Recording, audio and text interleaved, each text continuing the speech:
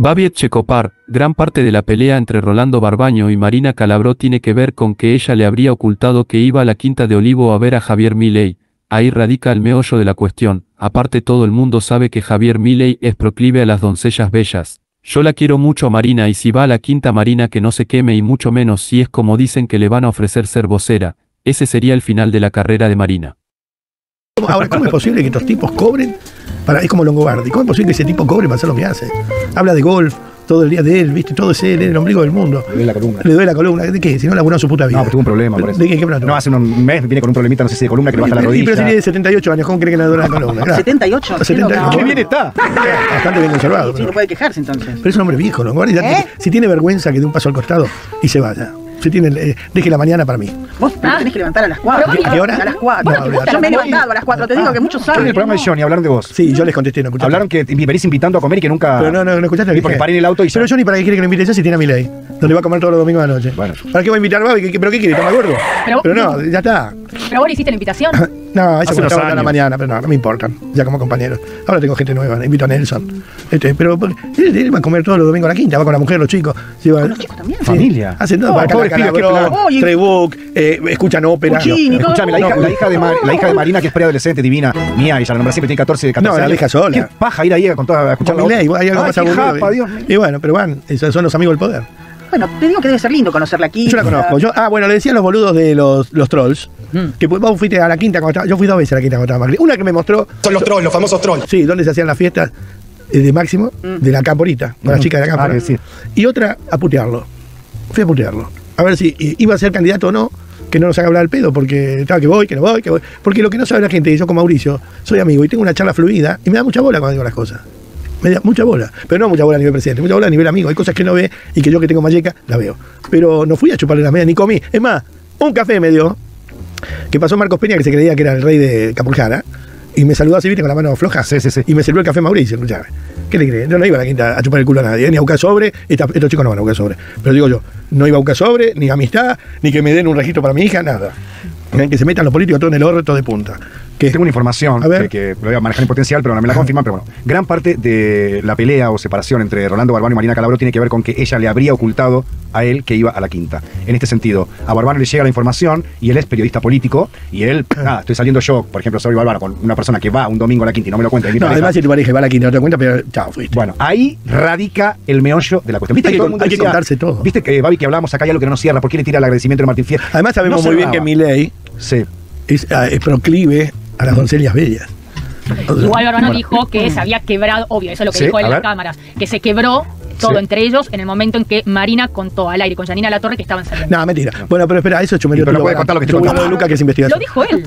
Escúchame. Es una manera de desviar de él. Claro, no sé, él tampoco que- se va a poner el culo A con mí me da, mucha, me, da, me da mucho sentido, para mí tiene mucho sentido que él como periodista, que pone la cara en un programa como el de La Nata, Pará, yo lo quiero, no, pará, pará, tampoco, tampoco eh, un premio Pulitzer. Pero yo lo quiero, pará, yo lo quiero, la quiero mucho a Marina. No sé, no lo conozco. La quiero mucho a Marina. Si va a la quinta Marina, eh, que no se queme. Y mucho menos si es como dicen que le van a ofrecer ser vocera. cuando el Bueno, otro... Cuando por el eso, otro vaya. a la- tiene sentido si es Sí, no tiene sentido, porque es el final de la carrera de Marina. Marina es una piba es grande muy, es pero callate la boca, no hable boludeces. Karina es muy preparada, eh, tiene un futuro brillante. Y si va de vocero, termina tu carrera cuando termina tu carrera de vocero. Es que No te ella se lo habían ofrecido y dijo Claro, que no. Muy bien. Ella lo que dice que tiene sentido la No, teoría ella que no, yo estoy idea. Ella, ella- ¿Sabes qué pasa? Ella la carrera no la hizo como ustedes. La hizo a los empujones. Es una piba que. Ojito, ojito. La carrera la hizo No, sexualmente. Lo sabe- no, no, Ensuciame. ¿qué, eh? Ensuciame con lo laburante que soy. Era- No, estoy diciendo lo que dice él, que tiene ¿Le, le que vos? dice. Bueno, pará, te ¿Le vos? Mira, mira, tía. La tía, mira, a ver, la tía va a hablar. Pará, pará que va a hablar del oráculo. Sí. Voy a contarte algo. Sí. La gente que llega a la edad de Maggie a estos lugares es porque hizo el camino que tiene que hacer. Muy bien. Ah, ¿la defendés vos? Oh, Hay Claro. mucha gente que vos sabés. Que a los 20 ya son conductoras. ¿Sabés qué te pasa a vos? Pará, carteras Estás echada vos y Maggie. A mí no se me discute. Vos porque querés que sea medio No, gatieso. quiero decir una cosa, en serio. Si algo, si algo admiro de Maggie, es lo laburante que es y lo que es. Mucha Gran capacidad de trabajo. Además, gran compañera. Corre todo el día, Babi. ¿Eh? Se peina, verdad. se, Labura- peina y se viste y se maquilla en los colectivos. interiores, se caga de frío, está a las 7 de la El colectivero le presta el espejo para que se maquille. Bueno, está muy bien. vale, está muy Le bien. está sacando glamour. No, pero es la verdad, una trabajadora pero igualmente, pero igualmente tiene buena carrera porque es respetada, porque acá podés llegar, lo que no podés es permanecer si sos todo. Eso es verdad. Bueno, Eso es y- verdad. y, no estaría en esta mesa conmigo. Además, no me gustan las que entran por la ventana. O cuando te ponen, bueno, pero, o, cuando te, o o cuando te ponen gente, te dice, a ver, eh, ¿Te acuerdas hemos padecido. Ah, Carbonell. No, ¿Vos sabés la historia? no, hombre, Te- no. te doy- te- sí, no te lo doy. ¿Cómo te lo voy a dar? Sí, venía así con el Eh, cuadernito. estaba- ¿Cómo se llamaba este, No, no. El, el boludo este que estaba director del C5N? No, no. Pablo Mármol. Paco Mármol. Paco, Paco. Paco Mármol, gallego. Por su hambreza. Entonces se comentaba que era muy amigo de Daniela Ballester. Sí. Ex Yo- gran hermano. Yo había puesto la, la- la mesa de 11 puntos que me la habían dejado en esos cambios pelotudos que hacían, en 19, y seguíamos subiendo. Entonces nos llama Paco Mármol un día y nos dice, bueno, porque eh, los quería estaban todos, Belén, ella, todo. Y digo, nos va a felicitar. Claro. Eh, bueno, quería decirles que a partir de la fecha, Danielita Ballester va a cargo de la parte periodística del programa. Eh, ustedes, entre ustedes, está Javier Díaz, lo sacó Javier. Ustedes si queréis decir que se van a lavar el culo a una laguna, díganlo. Ah. Pero a ella la respetan porque la periodista, claro. La pusieron, la sentaron ahí. Bueno, está bien. ¿no? Y, y tenían todo el poder de Indalo. Si la sentaron, le, le- le tenían todo el poder de Indalo. ¿no? Y ellos tenían sus poderes. Kirchnerista, Daniela, hasta la médula. Entonces, primer programa, ¿de cuánto está el dólar en Pekín? Vení, mamita. Y andaba con un cuadernito con resorte. Mira. A ver. Ah, no sabés ni para recordar. Al rato, ¿qué pasó con Putin? A ver, espera. Porque ella venía a bajar línea. nada más. Claro. A ver, listo, tercer día O renunció. sea, política internacional, cero. Tercer día renunció. Ayer me quedé con algo, yo siempre observo tanto. Que una carina que hicieron con Maru, cuando yo te dije, miren eso, para laburar, como decía el que rompe bola. Y, y en, en este ambiente, yo tengo 40 años de trabajo. Yo he echado gente. No he echado, se han ido, si no te pueden seguir el ritmo. Pero yo con mediocres no trabajo. Yo puedo aceptar que una persona no sepa y la ayudo. Lo que no puedo aceptar que se crea que sabe. Detesto los boludos que se creen que saben. Y porque yo tampoco sé. ¿eh? Porque tengo media hora de micrófono, ya te digo, no, disculpame, este, o me, cortaste la editorial, este, con la editorial me cortaste lo que iba a decir. O cuando te dicen, la gente me llama para decir, qué bien que Babi esté al lado tuyo. No, boludeces conmigo no. Me costó mucho, como vos, me costó mucho esta carrera vos, ni hablar, para regalarla, ¿no? Uno no la regala, la cuida. Entonces ayer cuando yo te dije eso, lo digo todo al aire, viste que yo termino el programa, no hablo con nadie, me voy. Yo termino el programa, me voy. Pero todo se lo digo al aire porque la gente se da cuenta de las cosas. Yo hay que ser honesto, yo amo a mis compañeros y doy la vida por todo. De hecho, yo esta, eh, puedes hablar hoy.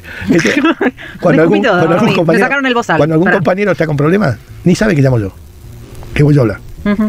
Pero eh, en el micrófono este, hay que saber hacer las cosas.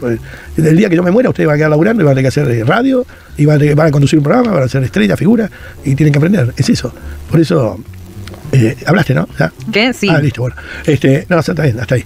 Eh, pero, pero no quería decirles esto al aire, porque la gente también tiene que saber cómo laburamos nosotros. Porque hay muchos que se van y dicen, no, me agredía, me maltrataba. No, no, labura bien, yo no te maltrato, no te agredo, ¿viste? Eh, no, no, no, no te jodas. Pero si laburas mal, y esto pasó, me sacaron a Javier Díaz, que es mi mano derecha siempre, y lo pusieron a, la pusieron a, a a esta chica. Claro. Y así que este, a eso no se ¿Y hace. después volvió Javi o no? No, no volvió Javi, vino acá a dirigir esta radio a comerse lo peor del mundo, que fue poner la cara por los estafadores que estaban con los compañeros. Y Javi quedó medio mal visto cuando es un santo, y bueno, tuvo que hacer un laburo de mierda. ¿Qué? ¿Qué es esa? ¿Qué es eso? A, a vos no hay nada que te venga bien, ¿eh? ¿Eh? Bueno, igualmente quería recordar a Javier que lo quiero mucho.